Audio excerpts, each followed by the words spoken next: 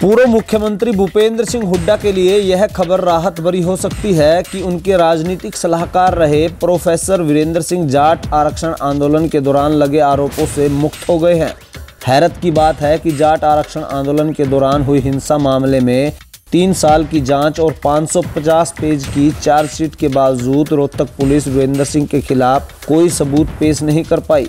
ADG रितुबाई के बहल की अदालत ने सबूतों के अभाव पर पूर्व सीएम भूपेंद्र सिंह हुड्डा के राजनीतिक सलाहकार रहे प्रोफेसर वीरेंद्र सिंह व कांग्रेस ग्रामीण इकाई के पूर्व जिलाध्यक्ष जयदीप धनखड़ और दलाल खाप के तत्कालीन प्रवक्ता कैप्टन मान सिंह दलाल को देशद्रोह सहित अन्य धाराओं से मुक्त कर दिया है। हालाँकि सरकारी वकील अब तर्क पेश कर रहे हैं कि इस मामले में हाईकोर्ट में पुनर्विचार याचिका दाखिल की जा सकती है। याद रहे कि फरवरी 2016 में जाट आरक्षण आंदोलन चला था, जिस दौरान सापला में सबसे पहले नेशनल हाईवे जाम किया गया था। बाद में आंदोलन के दौरान रोहतक, सोनीपत, जज्जर, भिवानी, जींद और कैथल में हिंसा व आगजनी हुई थी। 23 फरवरी को भिवानी निवासी कैप्टन पवन कुमार ने सिविल लाइन थाना में केस दर्ज कराया था कि आंदोलन के दौरान पूर्व सीएम भूपेंद्र सिंह हुड्डा के राजनीतिक सलाहकार प्रोफेसर वीरेंद्र सिंह और अन्य ने हिंसा भड़काई थी और उसके आलोक में एक ऑडियो रिकॉर्डिंग भी पेश की गई थी।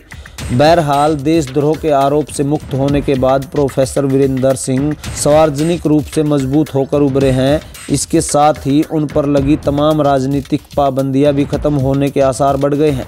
मसलन के वे फिर से भूपेंद्र सिंह हुड्डा के राजनीतिक मंच पर संचालन करते नज़र आए। स्मरण रहे कि प्रोफेसर वीरेंद्र हमेशा भूपेंद्र सिंह हुड्डा के कार्यक्रम पर मंच संचालन करते रहे हैं, लेकिन लोकसभा चुनाव से कुछ पहले हुड्डा ने प्रोफेसर वीरेंद्र सिंह से तनिक दूरी बना ली थी और मंच संचालन का जिम्मा गीता भुक्कल के ऊपर आ गया था। अब क्योंकि प्रोफेसर वीरेंद्र सिंह देशद्रोह जैसे आरोप से मुक्त हो गए हैं ऐसे में फिर से भूपेंद्र सिंह हुड्डा के मनपसंद मन संचालक प्रोफेसर वीरेंद्र सिंह ही हो सकते हैं।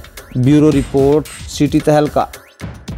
Subscribe now, then press bell icon Never miss an update.